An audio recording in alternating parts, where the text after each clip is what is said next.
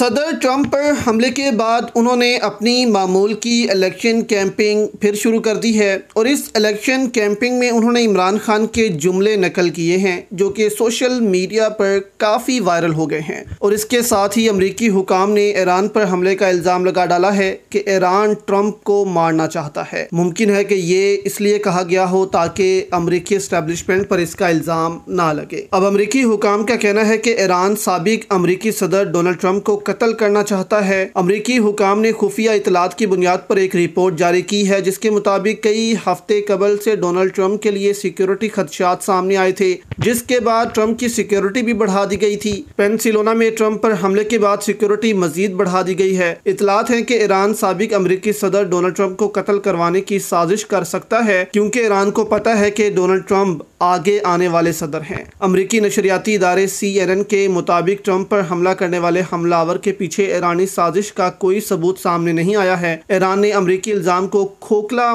اور گندا قرار دے کر مسترد کر دیا ہے۔ اقوام متحدہ میں ایران کے مستقل مشن کے ترجمان نے اس الزام پر رد عمل دیتے ہوئے کہا کہ ٹرمپ نے جنرل سلیمانی کے قتل کا حکم دیا تھا۔ اس لیے ایران کی نظر میں ٹرمپ ایک مجرم ہے جن پر مقدمہ چلایا جائے۔ ایران اس معاملے میں قانون کے راستے کا انتخاب کرتا ہے۔ امریکی حکام کو خدشہ ہے کہ ٹرمپ کے احکامات پر جنرل سلیمانی کے قتل کا بدلہ لینے کے لیے ایران ڈونلڈ ٹرمپ پر حملہ کروا سکتا ہے۔ دوسری جانب، امریکی سیکریٹ سروس کو ٹرمپ پر حملے کے حوالے سے شدید تنقید کا سامنا کرنا پڑ رہا ہے۔ امریکی صدر جو بائیڈن نے بھی اس معاملے کی تحقیقات کا حکم دیا ہے کہ معلوم کیا جائے کہ سیکریٹ سروس کی سیکیورٹی والے علاقے میں حملہ آور کیسے ایک قریبی عمارت کی چھت پر پہنچنے میں کامیاب ہو گیا۔ اب دوسری جانب، دوستو، آپ یہ ویڈیو دیکھیں کون سے جملے پر ٹرمپ نے عمران خان کی نقل کی ہے پھر اس پر بات کرتے ہیں They want to silence me because I will never let them silence you.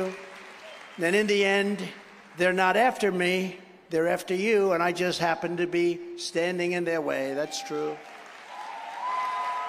تو جو عمران خان نے انٹرویو دیتے ہوئے کہا تھا کہ یہ لوگ میرے پیچھے نہیں، آپ کے پیچھے ہیں، میں بس آپ اور ان کے درمیان میں کھڑا ہوا ہوں اور اسی لیے انہوں نے مجھے جیل میں ڈالا ہوا ہے۔ اب وہی جملے ٹرمپ نے اپنی عوام کے سامنے بھی بولے ہیں اور اسٹیبلشمنٹ کے خلاف بولے ہیں۔ تو یہ ہوتا ہے لیڈر جس کی دنیا نقل کرے، جس کو دنیا فالو کرے۔ نہ کہ شہباز شریف اور زرداری کی طرح کے جو کہ دنیا کو فالو کرتے ہیں اور پاکستانی معاشرت کا بیڑا غرق کر کے رکھ دیا ہے۔